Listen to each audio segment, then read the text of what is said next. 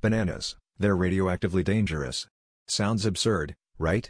But here's the twist, bananas contain a tiny amount of potassium-40, a naturally radioactive isotope. Now before you drop that banana, hear this out. Eating a banana exposes you to more radiation than living within 50 miles of a nuclear power plant for a year.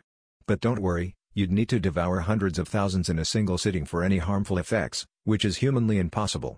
So, grab that banana and let's toast to it being a natural, delicious, and yes, slightly radioactive snack.